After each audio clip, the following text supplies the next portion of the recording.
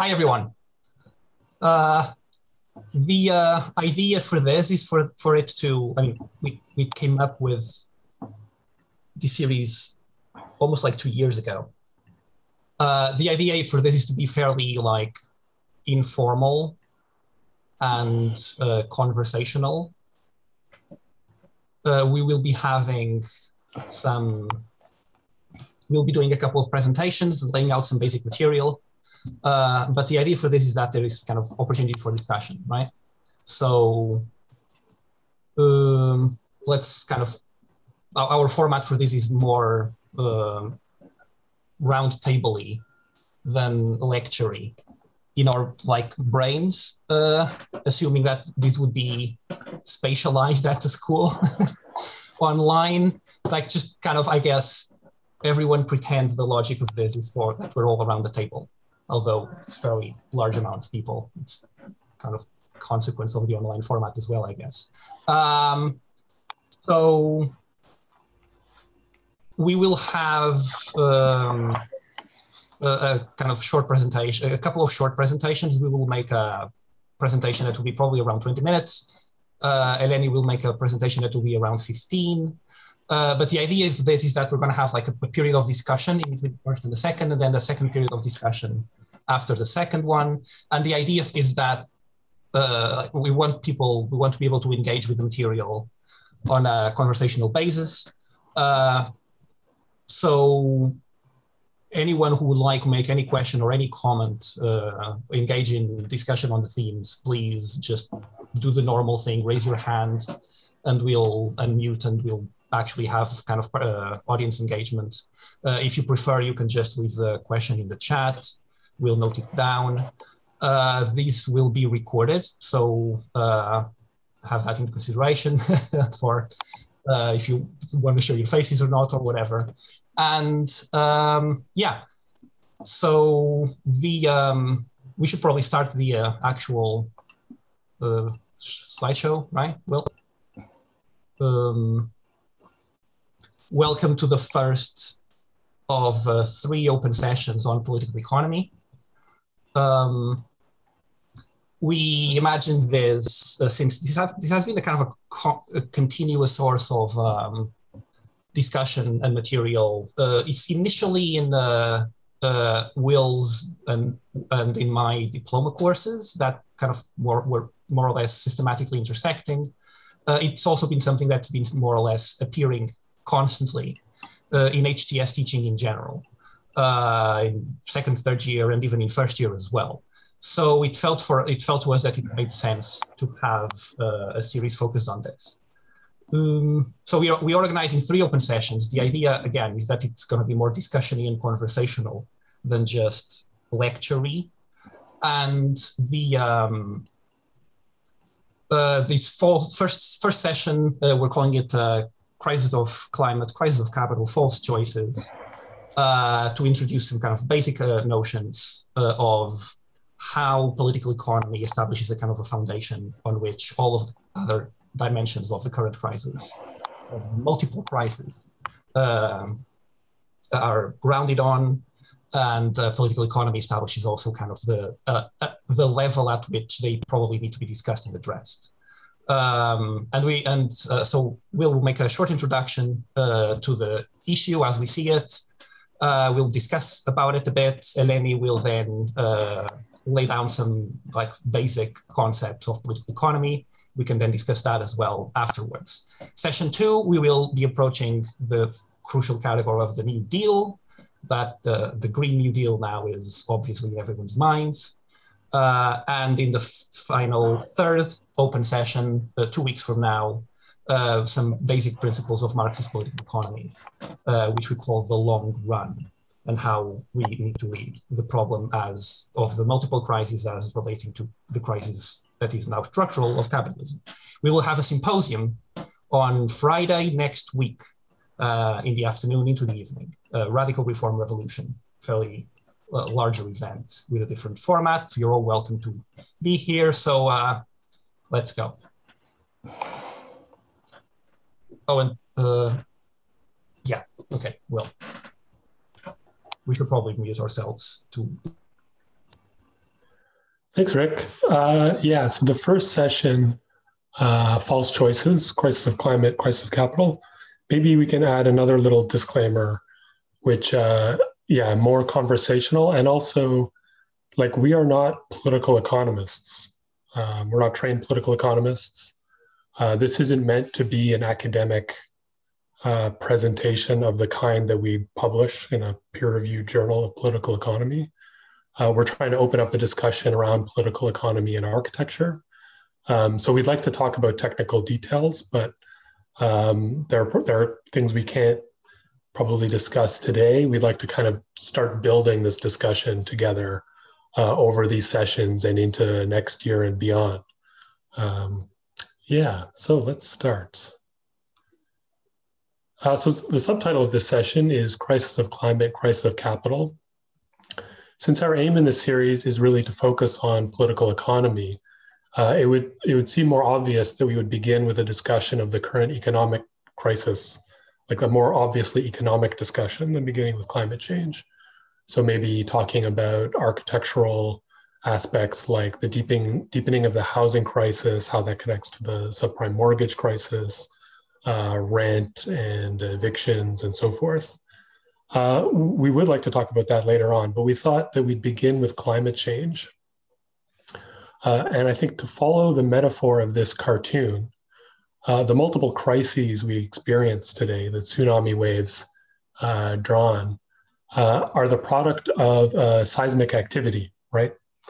and for us, understanding political economy is like understanding the understanding that seismic activity understanding the movement of the tectonic plates which make up uh, the structure of society and how so, uh, human society relates to the natural world. Uh, so in order to make this point and make an argument for for looking at political economy uh, we're beginning with climate change something that many of us at the aa are obviously thinking and talking quite a bit about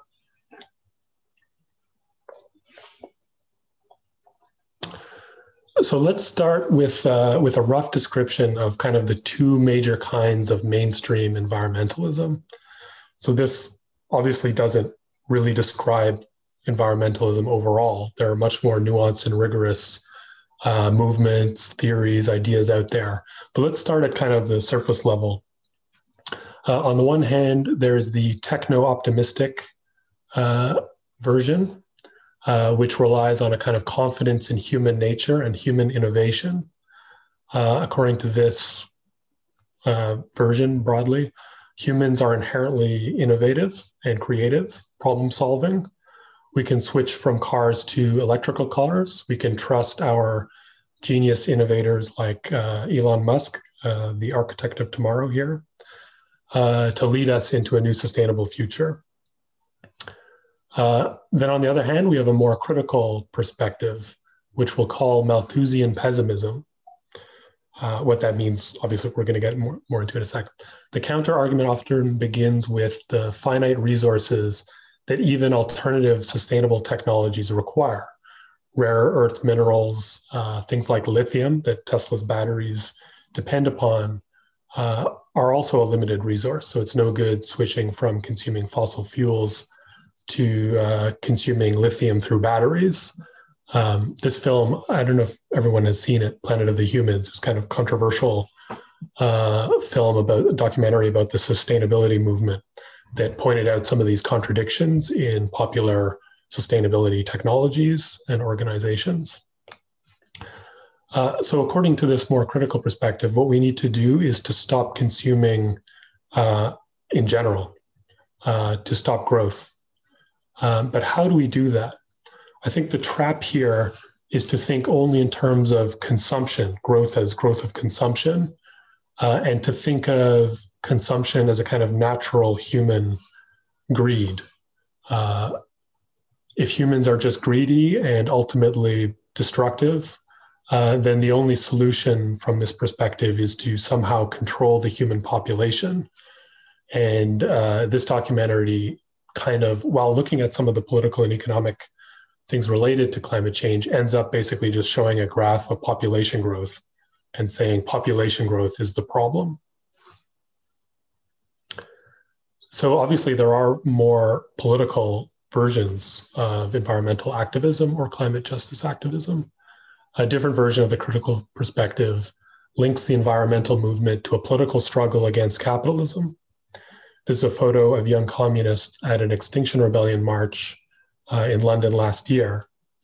Uh, but this, uh, this, this position is uh, fairly controversial, even within a radical movement like XR. In fact, this particular banner elicited a direct response from the Extinction Rebellion official Twitter account, which said, just to be clear, we are not a socialist movement. We do not trust any single ideology. We trust the people chosen by sortition to find the best future for us all through a citizens' assembly. A banner saying socialism or extinction does not represent us. Uh, but which, uh, which people are implied here? Who do we trust? Can they be chosen at random by sortition? Has everyone equally benefited from the development that is causing the climate crisis? Is everyone equally at risk of suffering the consequences of climate, climate change? How does the struggle for the environment actually connect to other struggles? Uh, is it purely by chance, or is there a structural connection between the climate of crisis, neocolonialism, racial oppression, uh, and capitalist exploitation? And I think arguably this tweet uh, set off the real controversy uh, because it uh, a section of Extinction Rebellion activists argued in response that the banner, in fact, did represent them. So there was an internal debate uh, over what the political uh, program of Extinction Rebellion actually would be and how it relates to larger political questions. So, without this political dimension uh, and ultimately political economic dimension, we argue, uh, we risk falling into a trap. Um, optimism or pessimism at the level of consumption and human nature is basically a false choice. And it leads one into a position that uh, is powerless to alter the real economic, political, and climactic forces at work in the climate crisis. So, whether one's optimistic or pessimistic, climate catastrophe will happen. Uh, and people will be sorted uh, in one way or another. Uh, and I think techno utopian visions like Big's Oceanix project here probably contain a kernel of truth for the pessimistic side as well.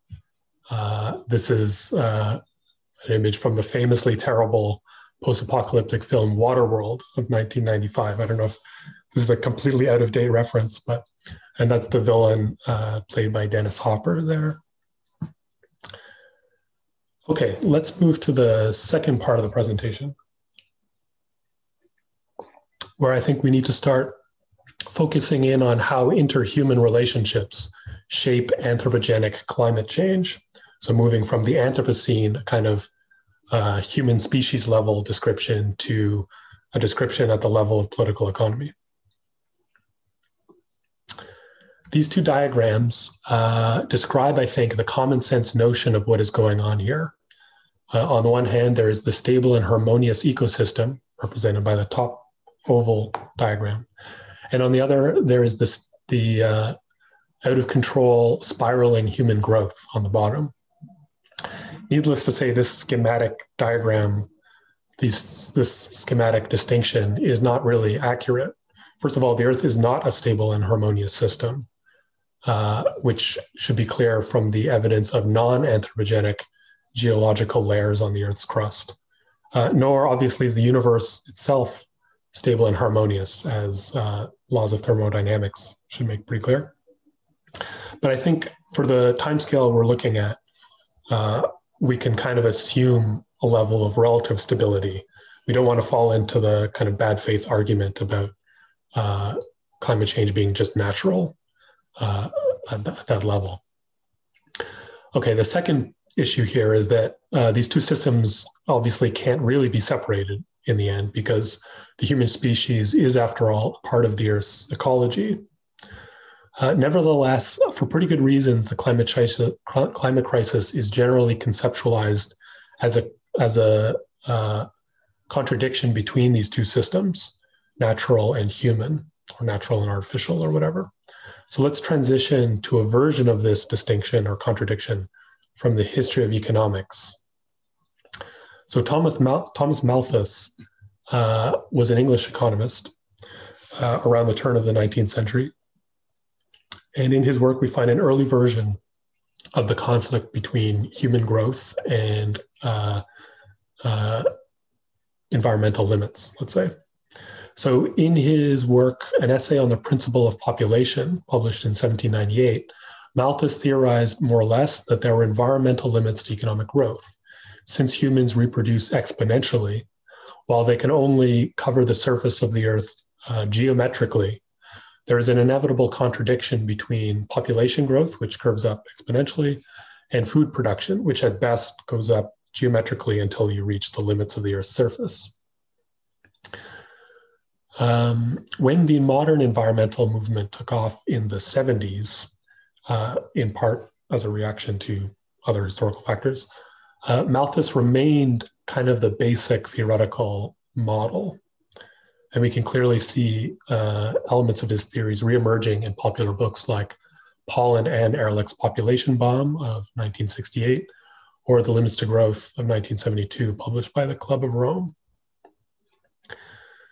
So, at face value, Malthus appears to be the canonical environmentalist economist. Uh, but what was the historical context of his argument? Malthus bears a lot in common with the physiocrats, a group of French 18th century economists who contested earlier ideas of wealth. so the physiocrats challenged mercantilism, which was a notion of wealth that sort of dominated, predominated in the previous centuries before the, the Enlightenment. A notion of wealth which generally defined uh, early colonial activity, particular, particularly Spanish colonialism, which was mostly concerned with taking gold and silver from the colonies, shipping it back to Spain, and stashing it in the royal treasure chests. And the amount of gold and silver contained in the royal treasury was equal to the amount of wealth, basically. So, this notion of wealth was challenged theoretically by the physiocrats uh, around the same time as it was being challenged practically by the arrival and overtaking colonial practices of France and England, who were starting to outcompete Spain in the colonial, intercolonial struggle.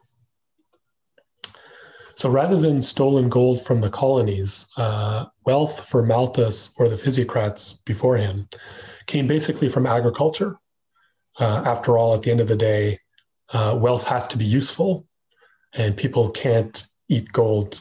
Doesn't matter how much gold you pile up if it doesn't uh, equalize usable wealth. It's it's pointless.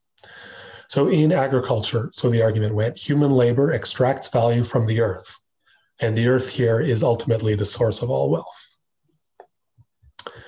So by the time of Malthus's writing, though, this kind of physiocratic notion was, was becoming controversial and being challenged by what we think of today as the mainstream of political economy. People like Adam Smith, uh, David Ricardo, and eventually also Karl Marx argued that wealth was produced by human labor, not merely extracted from the land. And I reuse the same painting to show that uh, for classical political economy, it's the focus is on the people here, their implements, the technology, their social organization, and so forth. Um, so the premise of classical political economy was that humans produce and consume in a complex and dynamic relationship with natural resources rather than merely taking uh, from nature what nature offers. So those ideas uh, of the other classical political economists were far more accurate and powerful than Malthus's. It turned out, uh, especially especially Marx's. Um, and we can we can say that Marx's sorry we can say now that Malthus's theory is is basically just false. Uh, its exclusive focus on consumption completely misses the way political economy actually works uh, and Malthus was proven wrong over the course of the following centuries as population growth and food production both grew exponentially. And today it's pretty obvious that the basic theory is wrong uh, because poverty and famine today uh, are not related to underproduction of food uh, on the earth, but to problems of distribution and accumulation of wealth. Um, So, nevertheless, Malthus has remained influential both for environmental movements and even, it has to be said, for eugenicists and racists uh, who revive Malthus's theory as a weapon against the masses of poor and colonized peoples, basically blaming them for their own poverty. This continued attraction to Malthus from widely different angles uh, is possible because there appears to be a kernel of truth here, uh, at least in the, in the idea of limits to growth. Today, we have a larger view of resource extraction consum- and consumption uh, than just uh, food production and population. We include other kinds of resource extraction, like mineral and fossil fuels, obviously, but also other kinds of conflicts, like environmental destruction, loss of biodiversity, changes in atmospheric composition, uh, CO2 levels, and so forth. We have a better understanding of the complex interconnection between all these factors, and we definitely see human societies reaching different kinds of environmental limits and transgressing them in destructive ways, even if that doesn't manifest itself in like obvious underproduction of food. But still, we tend to think of the problem in the limited terms of growth as growth of human consumption butting up against natural constraints. When those constraints reach their ultimate limits, we are back at the same Malthusian endgame. Now, anyone who's in my diploma class knows I like to use this slide. uh, Thanos, ultimate villain uh, of the Marvel Cinematic Universe, is a classic Malthusian, basically. He uses his power to reset the balance of population in the universe by snapping his fingers and killing 50% of all life forms.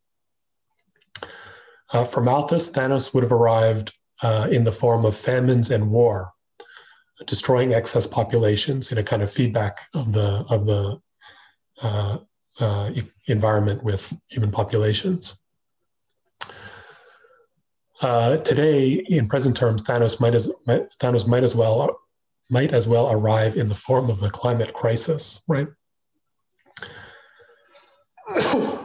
so for Malthus uh, and for Malthusians, it is a contradiction between humanity as a whole and nature.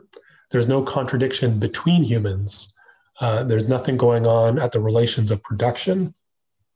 Humanity as a whole grows and consumes until the earth is forced to cull the population through crises.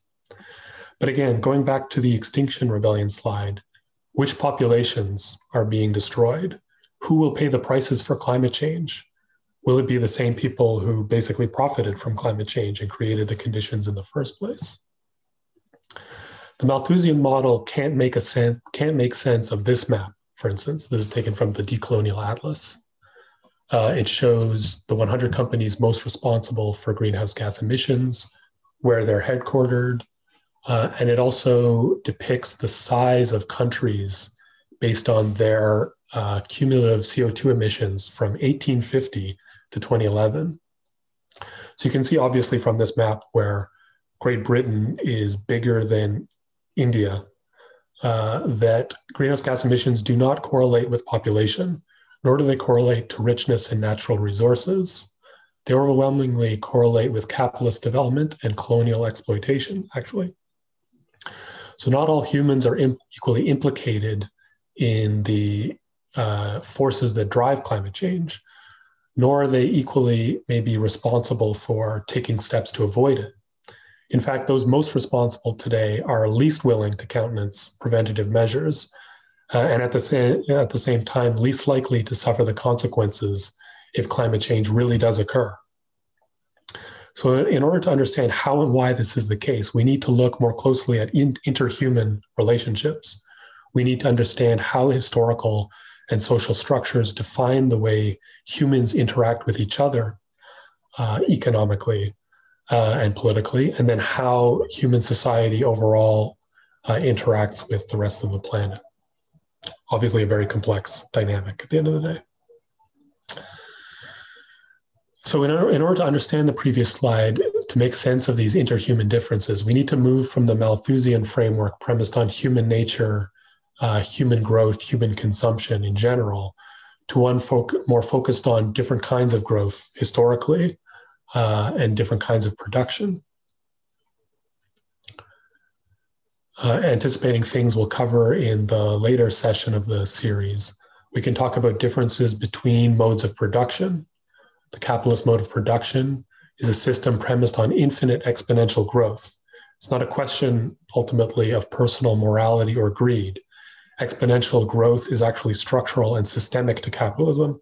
So there's no point in making a kind of uh, ethical or moral critique of capitalism. Uh, at the same time, while kind of the moral critique uh, is ineffective, it's possible to politically change the system. Uh, these structures have a social dimension and are subject to political change. Just as capitalism replaced feudalism, a new mode of production could replace capitalism.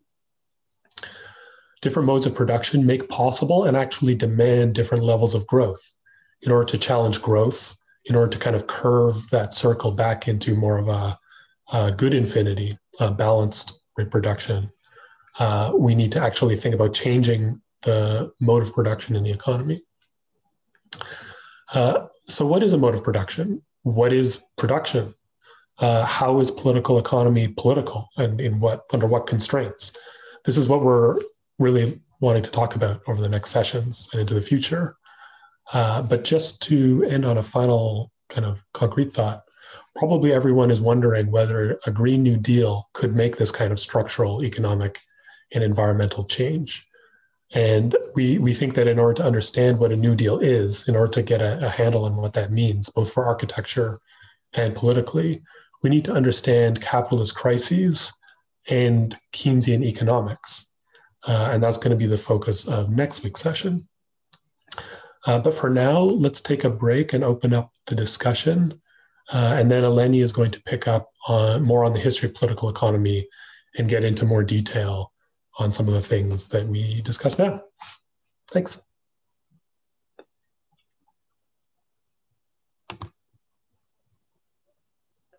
So if you do, Rick is going to moderate, I guess, but just to say if, if anyone has uh, a comment or a question, uh, we'd like this to be kind of open uh, please raise your hand and we'll unmute you. Or if you prefer, you can type it in the chat and one of us will read it out.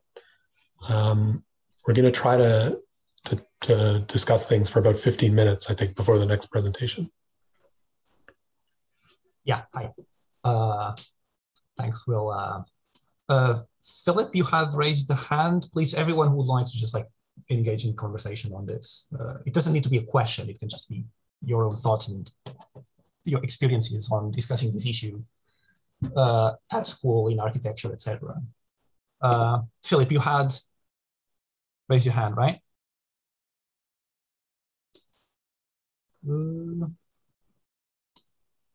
No, I, I used the applause reaction. that oh, was, it, I didn't raise my hand. but uh, yeah, I was just, I was like, eh, I would just like to say that it was a very good and pedagogical presentation. Thanks, Will. Uh, very nice. Uh, and I'd say I'd agree wholeheartedly. Five out of five. But uh, I think that's it for me at the moment. Thank you. Uh, Eddie, uh, I think, if I'm not mistaken, you actually have the capacity to unmute yourselves. I don't know if I have to press the unmute button. I think we do have to unmute them. Eddie, yeah. Uh, Zoom says you are unmuted, but there's no sound coming. There may be some mic issue on your end.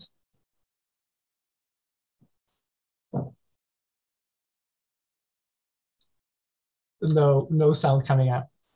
Uh, if you only can like write a question or comment in the chat. Uh, if there's a technical issue. Um,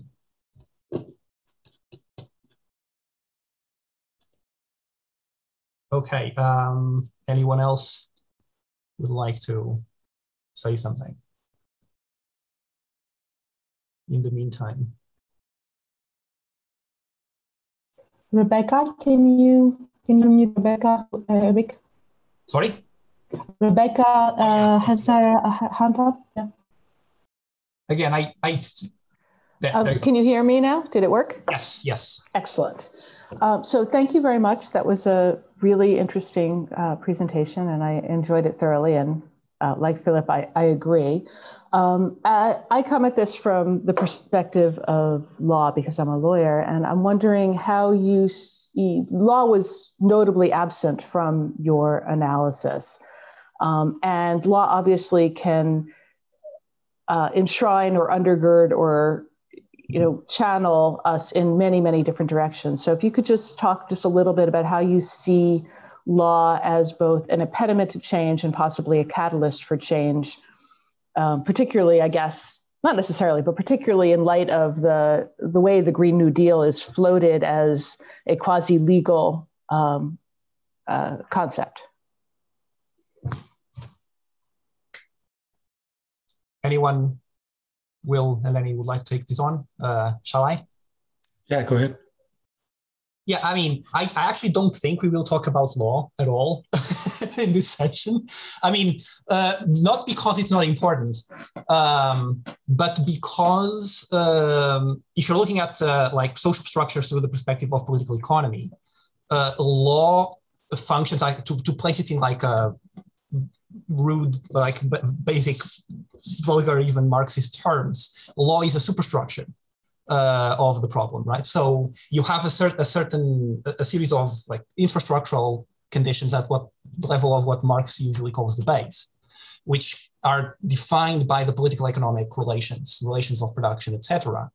And those produce uh, social mechanisms to regulate and manage those relations, but law is perceived as something that comes out of social relations that are more structural and then uh, help uh, regulate and reproduce those relations. Now, in the, in the context of the political struggle, politics can change the politics, politics which functions at the level of superstructure can change the base by uh, establishing legal mechanisms that transform it, right? Uh, but these two functions as part of a political struggle. So there is obviously political struggle to make legal changes. Uh, and these can be uh, relatively simple uh, or uh, legal changes within a, a certain social framework. Um, or they can be much more radical, even kind of revolutionary, so legal changes that essentially destroy an entire legal apparatus and construct a new one. Uh, and in many ways, this is uh, the difference between that we will be exploring in the next couple of sessions uh, between what is usually called reformism in like left discourse, right, associated with Keynesian economics, so construction of welfare state, social democracy, and the New Deal, which is acts in many ways through law within a capitalist structure, um, and uh, the revolution, which changes the capitalist structure, essentially destroys it and replaces it with a new one uh, and constructs new legal frameworks that uh, are regulating a different form of the economy, right? Uh, and yeah, we will be exploring how, what levels of legal transformations, at what level legal transformation and regulation can make changes and what kinds of changes it can make, uh, and what kind of changes it can't make. And the problem then becomes deeper, right?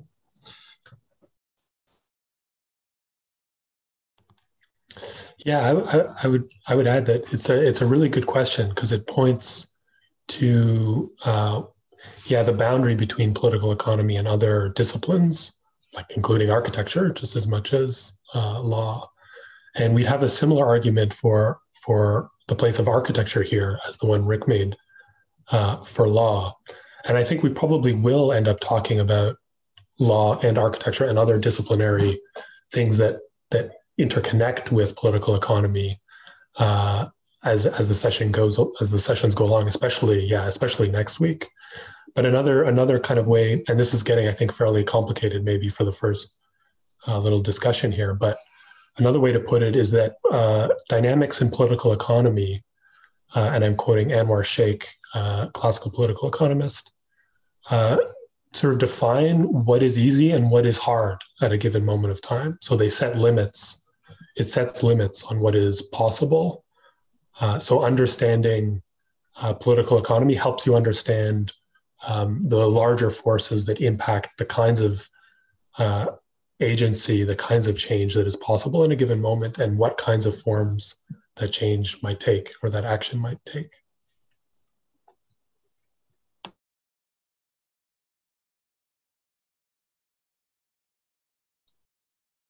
Would anyone else like to come in? Eddie, can you have you managed to fix the uh, audio, the mic thing? No, you are still unmuted on it on Zoom. Uh, all right. Okay, we have uh, Max. Uh, yes. Let me try and find you. Hello. Yes, it's working. Cool. Go ahead, Max. Um, hello, by the way, Ricardo. Emil. Nice to see you, and thanks for doing this. You've been good. Um, well, I guess this is a question for you, maybe yourself as well, Ricardo, and anyone else um, who's interested. But I just was wondering if you could unpack a bit more this sort of relationship between ethics and climate change. And I think you said that ethics isn't necessarily an effective or potent sort of, um, you know, force in trying to challenge this thing, but actually it's the sort of political sphere that, um, you know, these struggles need to play out in. But what I was just, I, I suppose I'm just wondering if, do you think there's any room for ethics? Why is it that you don't think that that has such a, uh, yeah, a, a enough power to sort of um, be effective. I remember Ricardo once you saying that you don't believe in ethics. Um, maybe yeah, yeah. That's that's sort of um, what I was wondering. That's nice. Shall I start and then uh, Lenny and Rick, if you want to? Yeah, good question. I mean, I think uh, I think there is a, there is room for a kind of moral uh, argument, maybe an ethical argument about climate change. Uh, certainly, in in a political movement, building solidarity, uh, building building the kind of political movement, you need to develop uh, uh, an argument uh, using ethics and politics as part of that argument in order to build that that solidaristic coalition or whatever. Mm. Um, but at the same time, I think the the, the issue with with ethics is that it places the uh, burden on an on the individual, uh, seen as someone with basically the willpower to affect the system, one way or the other, whether they're a good person or a bad person, an ethical person or an unethical person. Mm-hmm. So I think it's useful tactically as a discourse as part of a political movement, but it's I, I would argue, not the lever of political change. And actually, thinking about things in terms of political economy uh, means thinking more in terms of how interests are at stake, interests that often manifest themselves in impersonal ways in the system. So, whether or not one is uh, an ethical uh, person or not doesn't necessarily affect the way uh, capitalist relations actually function like to be an ethical capitalist means still to rely on the relations of uh, exploitation on which being a capitalist at all depends. Otherwise, you go out of business. Mm. Um, so it's looking at political economy again sort of shows the structural limits that define what is easy and what is hard and constrain uh, uh, basically individual willpower or even collective willpower to a certain extent. Mm. Ricardo, did you have anything? Oh, if I could just make one more point. I think also that uh, part of the argument, the political argument, uh, uh, can be that it's in people's interests to prevent climate change, not because uh, it would make them a good person, uh, not because it would be ethical, but because it would be actually beneficial. So that's, I think, another aspect of the argument. Right. Yeah, I, I would essentially make the same point, but I would add something here. Um, now, obviously, I do think that, as Will said, uh, an appeal to ethics and uh, moral issues, uh, although also to self-interest, uh, is important in essentially mobilizing people for the struggle. Uh, we do that on an everyday basis when talking to people in, interpersonally. uh, the issue that we're raising here is not that ethics are like bad or morals are bad in absolute terms, but that setting the horizon of the struggle as a moral struggle or as an ethical struggle is the problem. The struggle is political. Um, and um, so mo- using personal morals and ethics to push people into and mobilize them to the political struggle is important and useful. Uh, but it's not useful to set a moral solution. Uh, what we have generally as part of the moral, uh, as kind of a practical effect of the moral solution, is placing the emphasis on individual change, uh, change transformation of consumer habits, uh, etc., which is in many ways precisely what the capitalist mode of production wants people to think is the horizon of the struggle. Um, now, at, and effectively moves away from the true scale of the struggle and the true scale of the structural transformations that are necessary. Um, the um, again, this is a discussion that we will be having, uh, I guess, uh, over the entire cycle. The um, but I think a key point here is that capitalism does not need the climate crisis to be in crisis. Um, I would actually even argue that uh, if there was no climate, if it, if, if it just so happened that there was no natural limitations uh, for infinite growth, uh, if that just we lived in a different universe where that wasn't the case, capitalism would still constantly be in constant crisis, and it would still be creating massive problems, and we will we would still be having this event right now uh, if framed slightly differently. Um, and those internal crises that we will be exploring over the next two sessions um, of the current mode of production uh, that create tragic results, uh, famine and misery and war. Um, and war nowadays has kind of an existential uh, is an existential threat to the continued existence of the species, just like climate change is. All of these issues emerge from the internal contradictions of the current mode of production. Uh, and people have a self interest in mobilizing politically to overcome those limitations. So even if capitalism wasn't creating the climate crisis, the problem would still be the same. Mm. And people's self interest manifests themselves on an everyday basis as well, even without considering the climate crisis. And they, we don't need to wait for the climate crisis for people to feel the effects of the structural crisis that is ongoing uh, on their everyday lives. People are already feeling that uh, right now in the uh, economic crisis that is unfolding as we speak. Um, so it is those uh, crucial tensions that emerge uh, uh, in the political economic fabric of the capitalist mode of production that have as an outcome as a natural and inevitable and desirable outcome political struggle and the mobilization of people on the basis of uh, survival, self-interest, uh, etc., that gets people to work together with each other militantly uh, along uh, so, uh, along several lines, which need to include today climate change, but are not limited to it. And so moral become morality becomes political, and that's the point.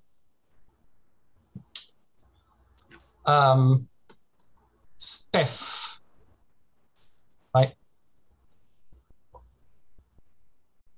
Uh, Steph, you, you are still you are still muted. I I think I oh, yeah, there you go. Uh, uh, uh, uh sorry, but you are not muted on Zoom anymore, and yet we are not having hearing audio. Your it's a similar problem with Eddie, I guess. The microphone is not on.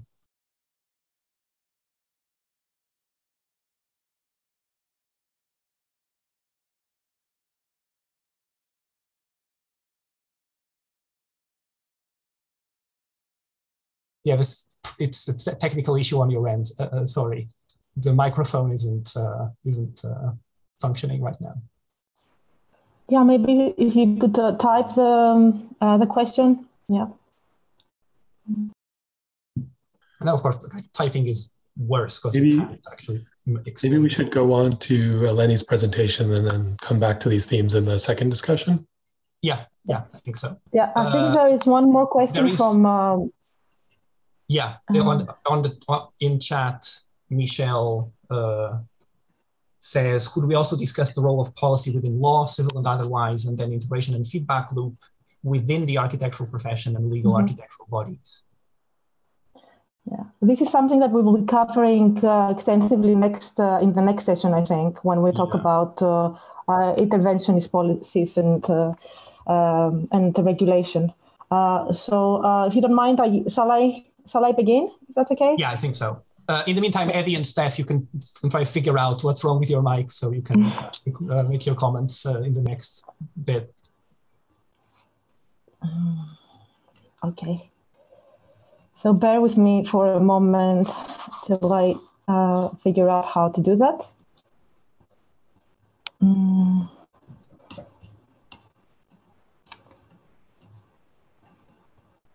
Okay, can you see that? Yes, no? Yes, yes, yes. It's, it's, you can see the presentation. Okay, it's working because We're I cannot see visually. you. Forgot you can't see us. No, no, no. I cannot. I cannot see you. I can only see the the, uh, the slides at the moment. So it's my computer. So um, okay. Uh, okay, I will try to pick up from uh, Will's last point and uh, focus a bit more on the uh, relation between economics and political economy. Uh, as uh, Will last uh, just noted, technological optimism and Malthusian pessimism are presented as the answers to the current crisis. In reality, this is a false dilemma since both of these options are oriented towards the management of consumption and the supply of resources instead of examining the relations of production uh, that cause uh, the crisis. Uh, so the second point that uh, we would like to make is uh, how the direction, this direction uh, coincides with an overall focus since the 19th century on economics rather than uh, political economy. So I uh, will try to address this through the presentation of a very crude and schematic uh, history. And I'm sorry to the uh, to people who have studied political economy, but it's necessary for the presentation. Um, so uh, political economy is the intellectual instrument which is employed since the 18th century to analyze and discuss the phenomena, processes, and regulations that relate to the production, distribution, and accumulation of wealth. Uh, political o- economy operates uh, for the um, appears sorry for the first time as part of uh, of the treatise in um, uh, of uh, Antoine de Montchrestien's book Traité de, de l'économie politique in 1615 um, the book contradicts uh, uh, Xenophon's and um, Aristotle's statements that economy, which is uh, related to the administration of the household, is to be separate from politics, which are the affair of the polis. Instead, it proposes that um, the two need to be considered together at the scale of the state. So, um, economic outcomes are influenced by political forces. Economy is political and must be devoted to the increase of production and wealth. The first political economy can be considered that of the physiocrats in the uh, 18th uh, century France, um, who focused on the use of land and on laissez-faire uh, practices, with most notable representatives uh, Francois Quesnay and um, um, Jacques Turgot. Uh, uh, we'll discuss that briefly in his presentation. Um, following by the classical political economy, which was uh, developed mainly in Britain with uh, William Petty, Adam Smith, and David Ricardo. Classical economic theory made the first attempts to understand the capitalist mode of production, which was emerging from uh, feudalism uh, while uh, industrial revolution was developing. Uh, it aimed to uh, a comprehensive analysis of bourgeois society, which uh, would reflect society's relations, and in this uh, it is this reason that uh, uh, makes us makes us call it um, a political economy.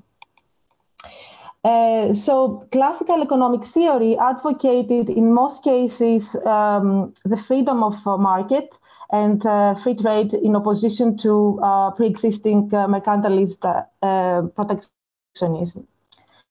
So um, Adam Smith in um, The Wealth of Nations proposed the calculation of wealth not according to the accumulation of gold by the state, um, but instead based on uh, state's income.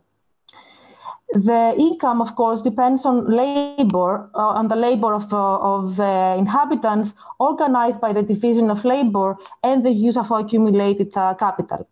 So uh, labor, land, and capital are considered as the three main parameters of production. With uh, land property and capital held by individuals, income is divided between laborers, landlords, and capitalists in form of wages, rent, and profit. So there is a clear uh, class distinction in Smith. And um, uh, also, Smith, uh, most importantly, uh, considers that uh, value was actually the result of exchange.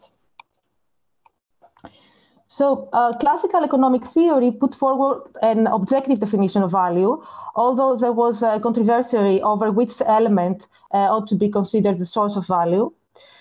Um, David Ricardo, in the Principles of Political Economy and Taxation, advanced the Smith theory on, of value and underlined that uh, the value of commodity or the quantity of any other commodity for which it will exchange depends on the uh, relatively uh, quantity of labor which is necessary for the production and not on the greater or less compensation which is paid for that uh, labor. Uh, so he focuses uh, on, uh, on issues of on, on value based on labor rather than exchange.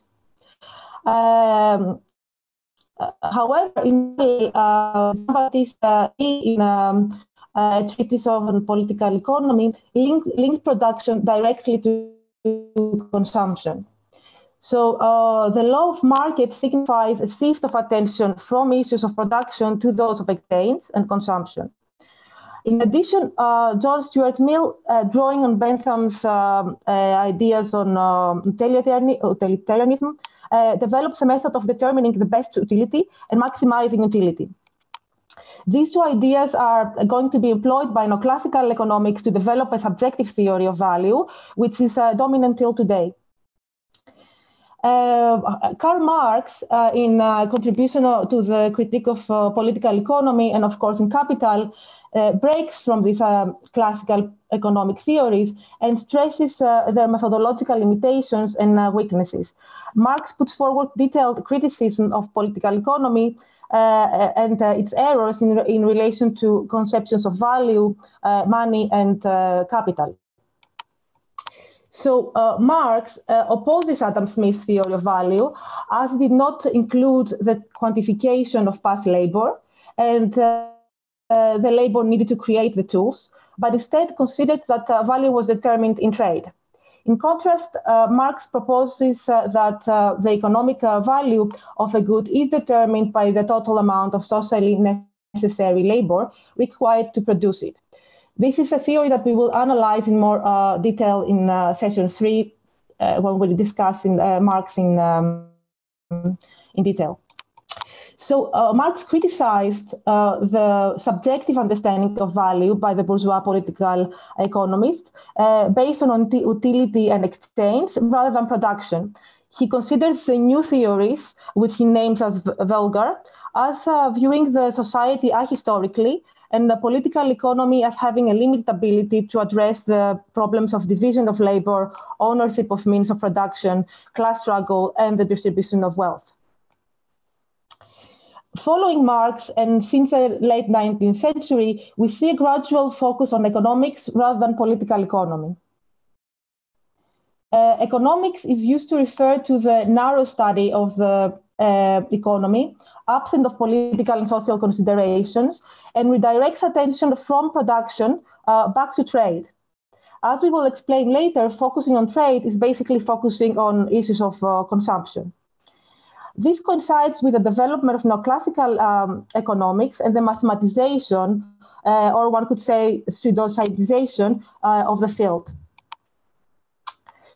So, neoclassical economics uh, is an economic theory that uh, focuses mainly on uh, supply and demand as the di- driving forces behind the pricing and consumption of goods. It considers the markets achieve equilibrium in uh, conditions of perfect competition. And uh, another uh, key assumption of neoclassical economics is that utility uh, to consumers and not the cost of production is the most important factor in determining the value of a product.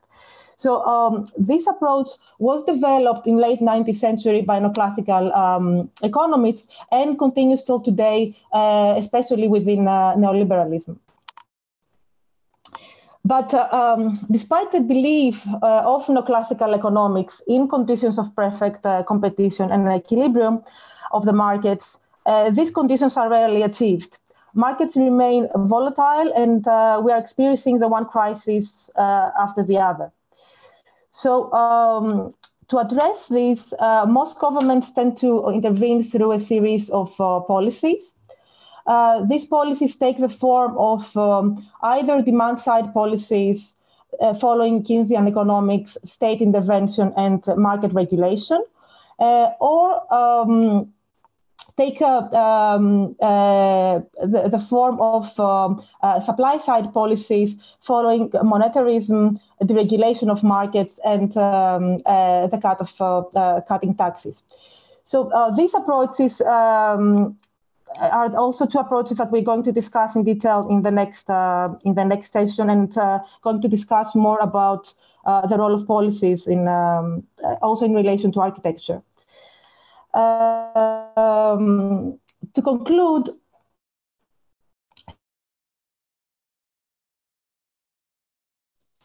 Eleni, uh, the, Marx uh, Eleni, Eleni, sorry, uh, Eleni, uh, the, your sound cut immediately after you're saying to conclude. With uh, classical uh, political economy, it was abandoned. Yes, yeah. Okay, can you hear me now? Yeah, it, it's it's working fine. It had a, a little cut. Uh, you need to restart after saying the words to conclude. Okay, so this slide, have you seen this slide? Uh, the, and uh, the um, your share screen stopped. You need to share it again. Okay, sorry. I cannot I cannot uh, look at you while I'm looking at the slides. So. of the online era. Yeah, I'm sorry about that. Uh, These okay. are endemic to Zoom. yeah, I guess so. Yeah. Okay. So I'll start uh, start the presentation from uh, here, and uh, let me um, go back to Zoom and share. Sorry. Unfortunately, I cannot see things all together. So. Yeah. It so exactly are you seeing that now? Conclude. Yes, it's working. Okay. Okay. So uh, yeah, to conclude, uh, since uh, Karl Marx uh, broke with uh, classical political economy, political economy was abandoned from uh, economics um, for economics, which um, have been presented as independent science and are applied till today through different policies. Um, so from the 19th century uh, till today, one could claim that we are focused on fixing these consumption equations rather than thinking what uh, creates them. We are limited between false choices, whether to consume or not to consume, how to consume wisely. Um, and um, we think that it is time for a change of direction uh, to start focusing on issues of production rather than consumption, on political economy rather than economics. Uh, since political economy is um, exactly interested uh, in uh, these forces that operate behind uh, what we consider as uh, given. Um, but one, of course, could wonder how is political economy relevant to architecture?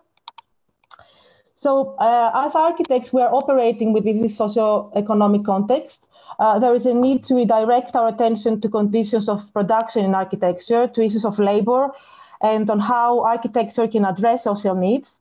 So, political economy can help us address issues of labor and production in architecture. Uh, and also, it, uh, they can help us address issues of um, uh, value, exchange, and uh, commodification. So uh, this way, uh, we think that we can avoid uh, false choices and confront the economic, political, and ecological uh, realities of uh, of um, uh, our profession. Yeah. So that was uh, is what I wanted to to share, like a short schematic, crude history of political economy, if it's helpful to anyone. and I'll go back. I'll come back. Thanks, Eleni. Um, yeah, so I, I guess um, again we have we're open to. First, let's see if Steph is now working. Go ahead, Are Steph. They... Now, can you hear me? Yes, it is working. Okay, thank you. Um, I'm not an architect, and I um, uh, just found this uh, event on um, uh, online and decided to come along. Um, I think there are certain uh, ways of looking at this problem, uh, and you need to be more emphatic about things. Right. Um, the original slide put up the idea of climate change, and you did use the term Anthropocene and, and Capitalocene. Well, I think it's uh, incumbent upon us to use the term Anthropocene or Capitalocene um, and drum it into people's head because this isn't just um, a climate crisis. This is all aspects of uh, life on Earth. Uh, the human being um, uh, has um, been the most um, important for degrading the entire um, environment of the planet and the metabolism of the um, the planet. Um, the we are now officially in the Anthropocene, and um, the uh, the working group um, doesn't define it as human beings. It defines it as um, putting the blame on industrial capitalism and the imperial um, uh, countries, the metropolitan countries. Um, now, we have um, gone from 250 to 410 parts per million of uh, carbon dioxide. And it's already had a major, major effect, i.e., we have transformed the planet um, into the Anthropocene. Um, now, this, uh, when you look back at um, uh, the environmental movement in the post war period, you had a recognition that um, things were changing on, on the planet and industrial capitalism was um, causing problems. Oh, oh, oh that, I, I let me just say that the 250 to 410 transition, I forgot to actually say it, that is due to industrial capitalism burning fossil fuels. And there has been an acceleration over the last 25 years.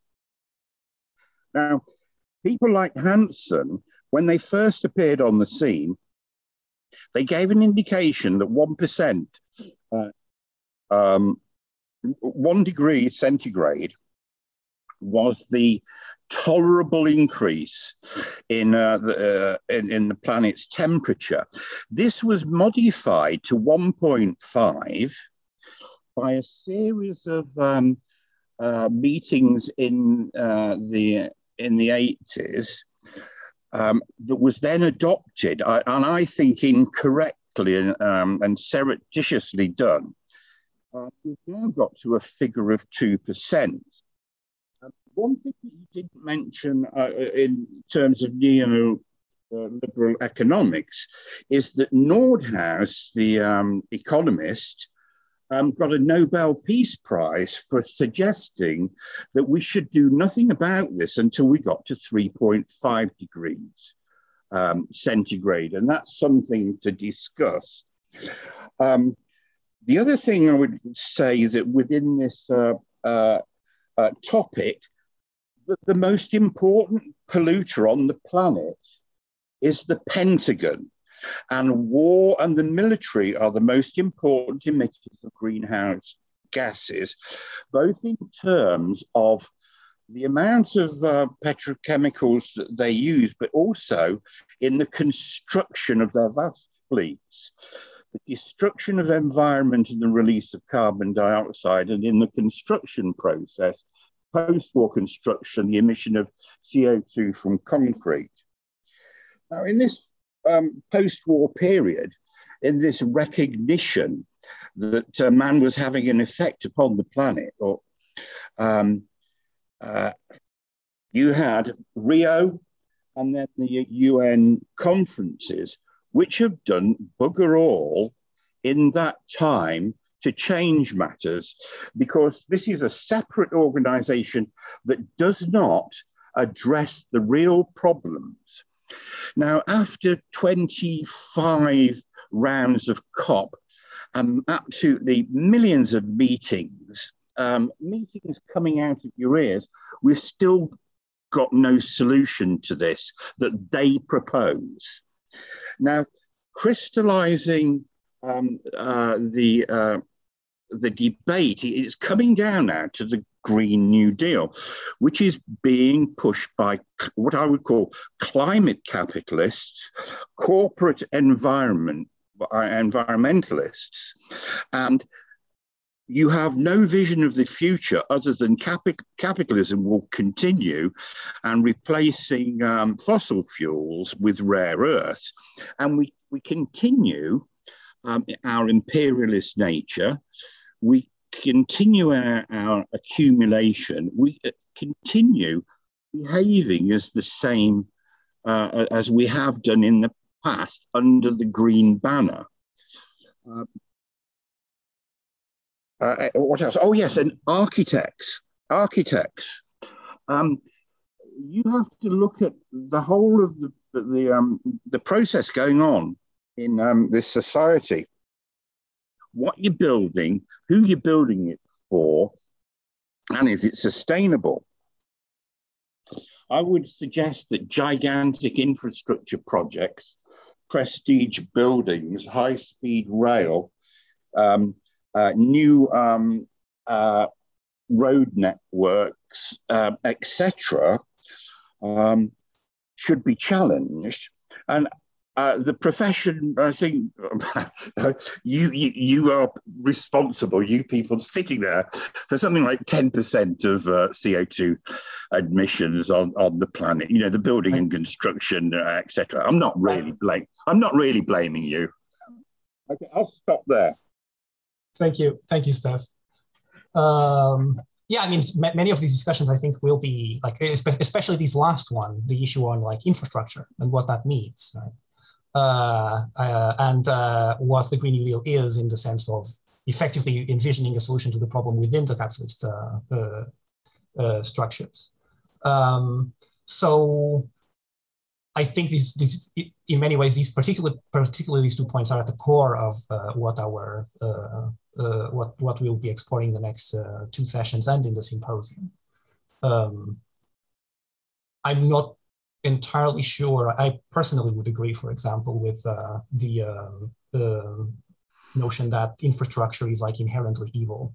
Uh, although I do think that infrastructure is in the current moment that, but in like a specific direction that is given to it is a direction that is given to serve the uh, needs of uh, the capitalist crisis, not to serve the needs of the global crisis, um, to help capitalism overcome its needs while maintaining its uh, uh while maintaining itself, not to solve the external problems, uh, the problems that capitalism creates. Um, but I do think that the solution to that will probably require a very large infrastructural, uh, massive infrastructural, in fact, transformation, but with a radically different direction.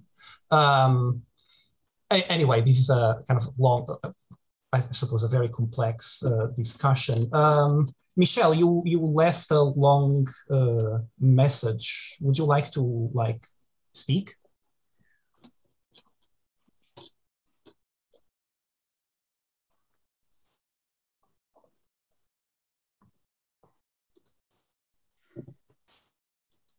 Uh, yeah, let me just find you. If you don't raise your hand with the raise hand thingy, I need to find you in the whole list. Oh, there you go. Cool. Uh, unmute. Okay. Yes. Thanks yes. very much. Um, I, I have I have many concepts, so I tend to um, throw a lot of diverse ones at people. So I'm going to just try one strand of that, and I hope it's not too simplistic. Um, but what I feel is that um, the main thing that has driven a lot of this problem is has come from uh, my very like small understanding of economy in the sense of of needing to produce, and we also even talk about the production of space, and the word production um, it seems to be this kind of measure of our economy and measure it's a, it's a huge place of measurement within the, the current system. And just in terms of in a, in a very basic sense well first of all i think we need to you know there's there's come up there's so many different economies the blue economy the red you know there's there's many brown holistic green um, full cycle economies. So people are looking at holistic economies, and we, we're now looking at these various different, if you like, full cycle systems. And um, I come from an architectural background, but I've had a lot of experience in uh, permaculture and biodynamic agriculture and um, yeah, just different ecological systems and terrain analysis systems. But I find that really, um, I find a lot of the problem comes in in, in the way that things are cop, cop, compartmentalized, even in government. the way water, services, electricity, um, people, production, economy, all of it is kind of segregated. And I think the mistake in, in even in our professions, we, we used to be very siloed in our professions. Now we're a lot more interdisciplinary. We're starting to see the value of integration, of diversity, um, especially now with COVID, the, the Black Lives Movement, um, the Green Movement, the Crisis Movement. We're all moving towards understanding. So in the, in the more general sense, as a general picture, we, we're understanding that these previous systems that served us to get to where we are um, within their kind of uh, narrow definitions are going to serve us a lot better um, where they start to intersect and work collaboratively. And in fact, we it, we seem to have these very simplistic, one-sided. We have many um, sophisticated sort of one-track systems that need to now integrate into one complex whole system. And, and the, the easiest example is nature because it's the most efficient complex system that we are born into and that also we need to cooperate with and work with.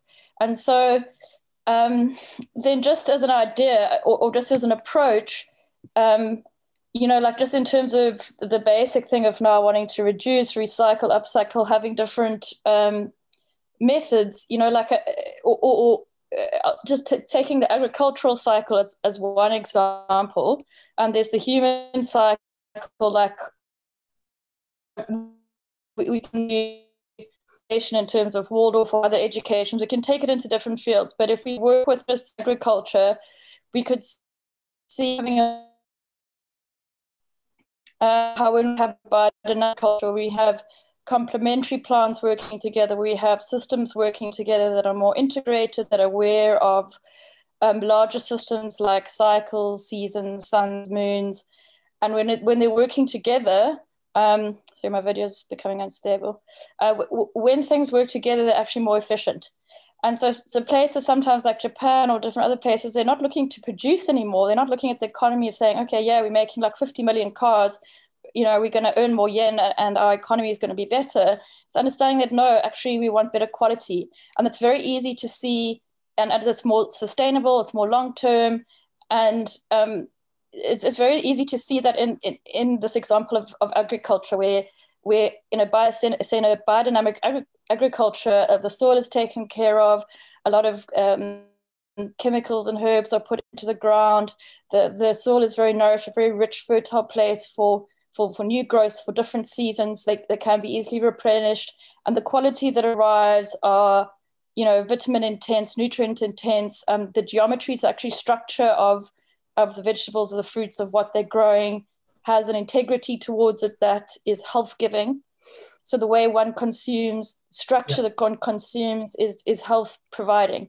And so one can take that now also into the labor system. If you want to look at this labor system that we're talking about in terms of architecture, it's ironic to think that we can build architecture that is enlivened, that is humane if we're tired if you're tired, my boss sometimes says if you make a, if you're tired inside of yourself and you are strained and you can't concentrate, are you going to make a quality design? Are you going to make a beautiful line in your architecture that's going to enliven and bring a sense of humanity?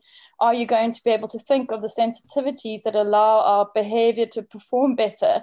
Will you have the human attributes to be able to bring those qualities into the quality of space that we want to produce and the kind of humanity that, that that needs to be reflected and you know and, and where where people have found that you know buildings that have natural materials or that do have good geometries or that are sensitive to context and site or even Jan Gehl's urban design approach yeah um, we get a better quality human we get a better quality building Um, Sydney Opera House is the most iconic building in the world. It took eight years to develop and lots of fights. Michelle, um, sorry, can, can yeah. so, so, so yeah, that, that's like it. A lot of detail and it becomes kind of long. okay, sorry. Okay, so the, the sum up is basically integrated and quality versus uh, compartmentalized and quantity. So just yeah. sort of, yeah, to sum uh, up, yeah. Will Eleni, would you like to? If that makes sense. Eleni, do you want to say something? I really don't know how to address that in a, in a short uh, in a short comment because I think that's uh, the, the, the process of discussion we are having. You know, uh, it is. Uh, but uh, what I, I, was trying to show exactly with this uh, with the previous presentation is exactly this um, focus in the the last two centuries in um, on quantity, on exchange, and all this kind of thinking. And, and the, the problem is now how we make the shift from that and we, we change the focus from these uh, priorities uh, to new priorities, to different priorities, I guess. But that's a very difficult. Oh, your, your sound your sound got garbled.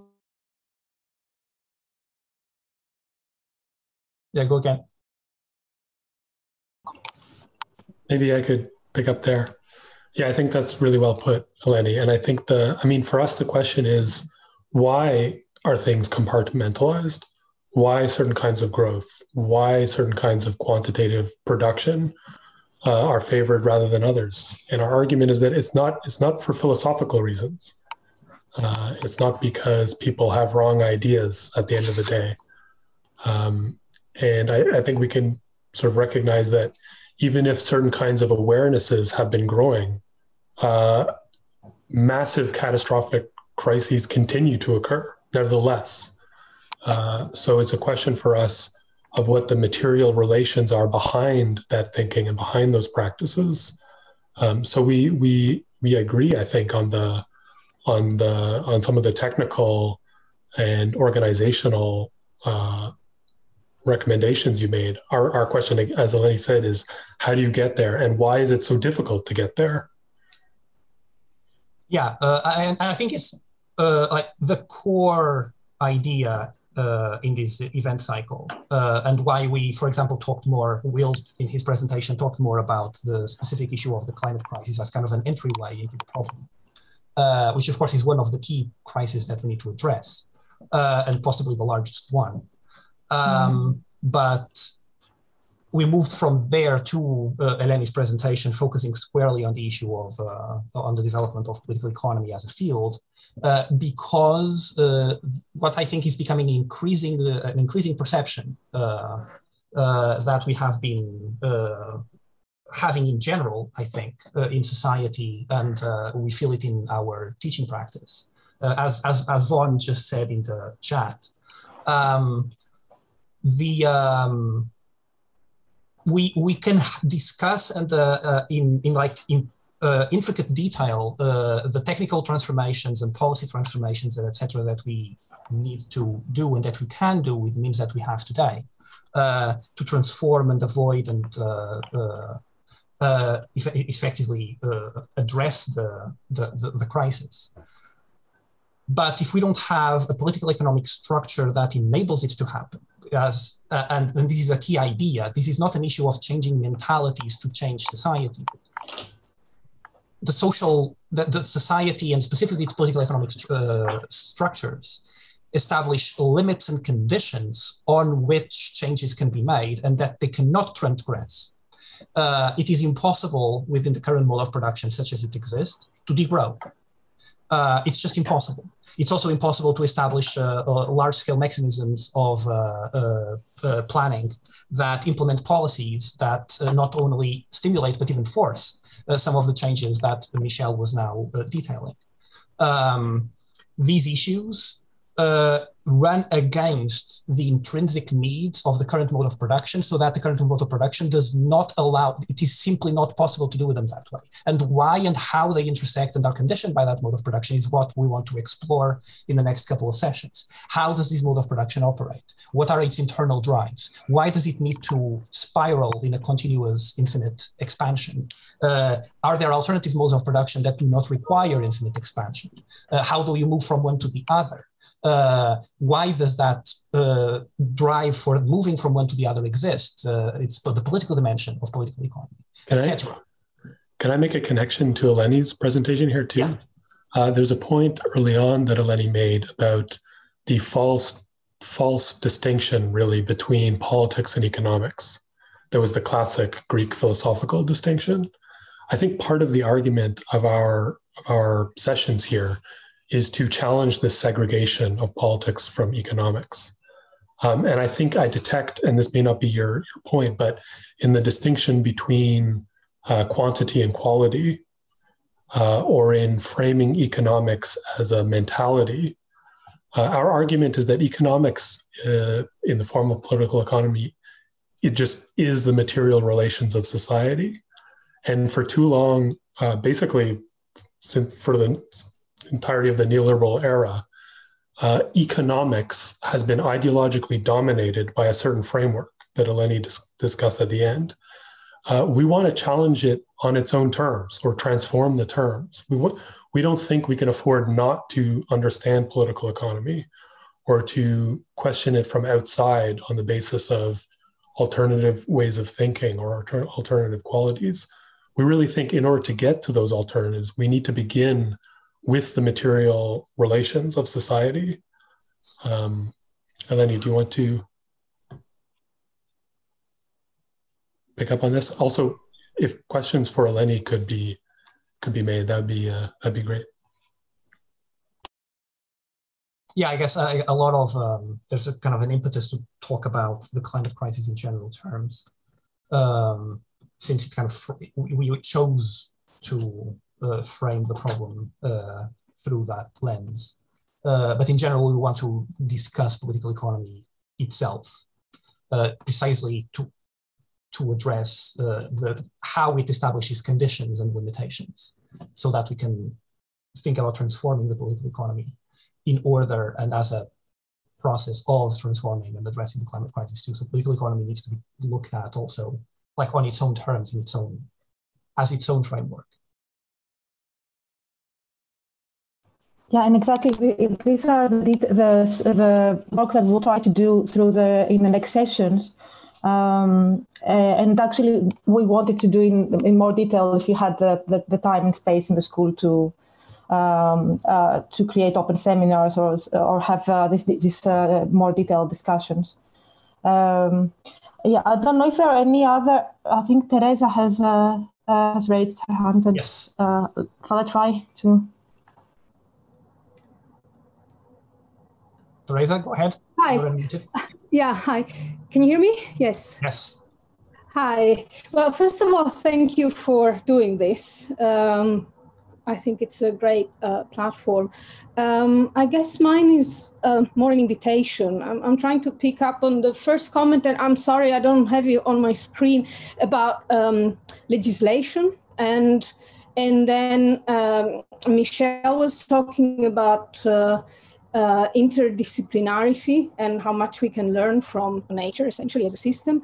And uh, Steph reminded us what we, we architects are, are, are doing to uh, the planet and, and, and, our responsibility. And I was thinking at, at these um, interventions together with your presentations, and thank you so much for looking really at the roots of, of the problem, I think. Um, but I think um, as architects, uh, the, the very definition of, of what we do is all of these things. So this interdisciplinarity uh, or uh, non being in uh, compartmentalized boxes is proper of nature, but it should be also proper of architecture. Um, so I, well, we'll continue the conversation, I think, in the coming sessions. But I think it's interesting because the ultimate continuation of the conversation will be in the studios and in the different projects and in the way of doing it because legislation can be challenged by architecture and architects need to um, look at uh, very carefully at how they uh, procure for their buildings and uh, they can also refuse to uh, produce certain uh, designs. Uh, and the example of permaculture, it's becoming almost a paradigm for um, uh, reinventing and rethinking the, the project. So um, I don't think mine is a question, is more just an invitation to carry on all these topics in uh, the next session and the ones after. And um, not forget, and thank you for uh, reminding us that uh, at the bottom of it, there are big issues, but we can still. Um, maybe a small dent, but not very small dent, something we, we, we can do. So yeah, just thank you. And thank you for the, I think the interventions which uh, uh, said everything but architecture. So I just wanted to defend the, the discipline and, the, and claim a certain, well, a certain, a, a serious responsibility. Uh, so yeah, thank you. Thanks, Teresa. Um, uh, I think maybe that's a good talk. If, if someone else doesn't have a question or uh, an urgent uh, comment, maybe it would be a good time to, uh, because we are over half an hour over the time that we meant to cover. Um, so I don't know if there is a, a good point to. If anyone would like to raise anything else? I do think, uh, if I can make a comment on Teresa as well, um, that um, obviously it, it's like these uh, organizing events like this wouldn't make sense if we didn't believe that uh, uh, architects and people connected to the discipline uh, can uh, work in the necessary direction. Um, but I think a key issue, and here is where, like, as Will was making a point earlier on the issue of law. Um, like law, architecture functions, um, and this is kind of a, a, an issue that we will be exploring probably even more than in these sessions in the in the uh, symposium. Uh, architecture as a field, as a discipline, has a role, but it's a weak role. Uh, and uh, what weak means here uh, is what we will be exploring. Uh, but without, again, without the structural conditions within which uh, there can be a structural transformation of the very mechanisms through which architecture is produced uh, and political economic conditions within which it is produced, which to address the, the scale of the crisis requires um, effectively a kind of a large global strategic reorientation, reorganization of the construction industry as a whole. Um, the, the contribution that an architect can make in challenging legislation, in developing uh, technical concerns and uh, technologies and mechanisms of design that uh, can produce better outcomes, all of those are will be extremely limited in scope and will not be capable of addressing the, the scale of the problem. Um, and so, like for example, uh, an environmental lawyer can be looking at the issues of legislation and how existing legislation contradicts uh, the, the, the, political necessity of transforming uh, the economy. Um, the same, uh, the, the, the, the lawyer cannot, the, the lawyer cannot in and of themselves produce those transformations in law. They can campaign for it, but the problem becomes a political problem. We move from a legal problem to a political problem because the problem becomes uh, where are the political economic conditions within which those legal transformations can be made. And so it becomes a, an issue of constructing a political uh, opposition and transformational movement. Um, and it's the same, exact same thing for architecture. Uh, and there is a certain tendency in architecture to think we can start making environmental projects and then incrementally by accumulating many environmental projects and by accumulating more architects with a changed mentality that can uh, introduce the environmental concerns in their architecture we accumulate we, cumulative, we cumulatively uh, achieve a kind of a grand sum where all construction is environmental. And we don't think that's true.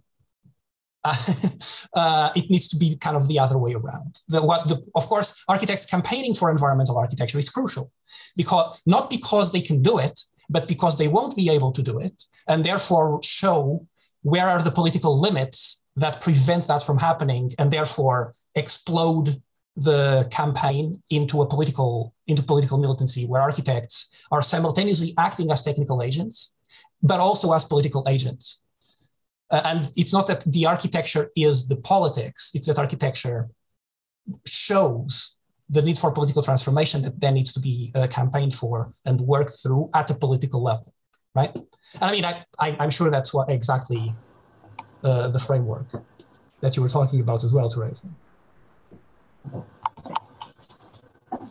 I think we can start by uh, first becoming aware of yeah. the the political conditions and uh, and uh, then. Sorry, I think I I I I, unmute, I muted you.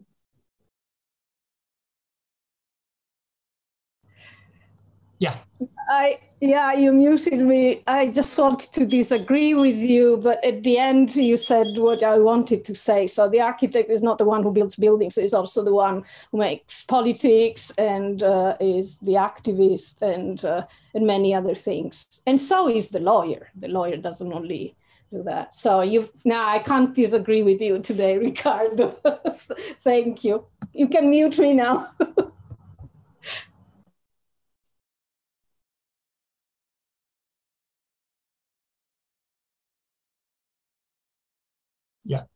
Okay. Uh, are there no more contributions?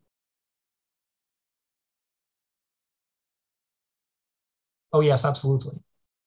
Putting policy in briefs, important.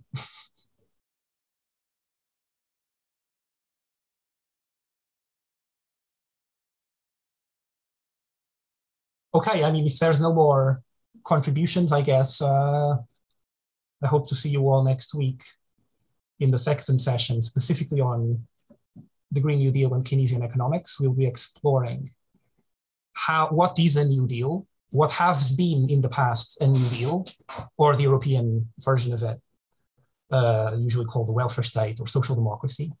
What does that mean in terms of how it conditions and regulates capitalism? What are the internal drives of capitalism that tend towards new deals in certain specific moments? And then we can discuss if there are, in the contemporary moment, conditions for a New Deal and what it would mean today. Um, and I suppose necessarily looking at the problem of the New Deal from the perspective of the, of the contemporary perspective in which the New Deal was addressing crisis of liberal capitalism, but the New Deal itself ran into crisis, which triggered neoliberal capitalism. So what is what are these crises? How do they function? Okay, uh, thank you so much, everyone. Thanks, everyone. Thank you. Thank you. Bye.